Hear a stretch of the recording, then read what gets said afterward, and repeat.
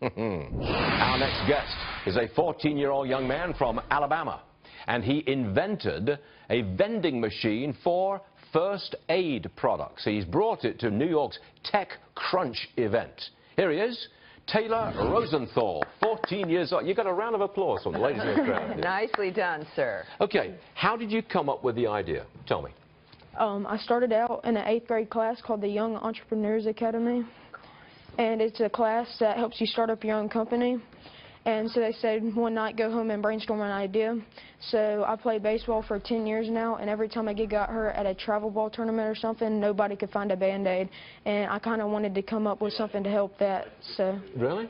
Yes. You just you went to a baseball game. Somebody had a minor injury. Nobody had a band-aid, so you, you create a vending machine for band-aids and the like. yes. Well, that's not bad. Now, as I understand it, you're a very smart young man, and you figured out that if you sold these products, first aid stuff, you'd have to pay somebody to sell them. And you don't like that.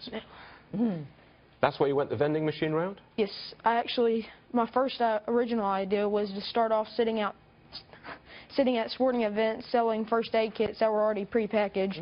But I noticed how much it would cost to pay somebody a minimum wage to sit out at that tournament for six hours. Especially at $15 an hour, right? Yeah, that's very true. Yeah. That's right. So the vending machine gets around the minimum wage cost and the cost of labor. Yes. Is it, is it a s I we don't have one in the studio. Is it a special kind of vending machine uh, that you invented, or did you invent the, the products that go in that vending machine? We created the vending machine idea itself. We didn't actually create, like, selling.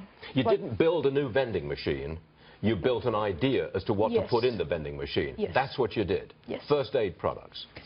Have you got it out and about yet? We have not. Not yet. We're hoping to start by the fall. Okay. Now, what's this about? You got a $30 million offer for your company. Is that for real? Yes, it is. Who offered that? You don't have to use their name, but what kind of company or person offered the money? It was a major healthcare company. Really? Yes, And you turned it down. I did. I, I said earlier that you were a very smart young man. Um, what are you doing turning down $30 million at the age of 14? Um, it took a while to think about it, but um, we had felt like the time wasn't right. We kind of wanted to grow and develop the company a little bit more, and maybe later in the run it'd be worth a little bit more. There we go. Oh, really? You want to grow the value There of the we company? go. What a strange idea in this day and age. No, I'm, I'm joking, I'm joking. That's a very good idea, young man. So what's your next step?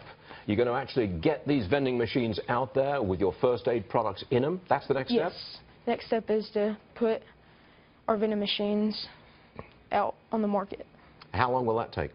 Um, hopefully, we should have them out by the fall.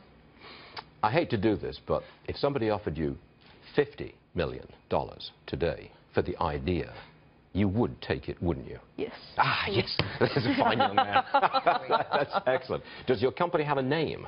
It does. It's called RecMed. RecMed? RecMed.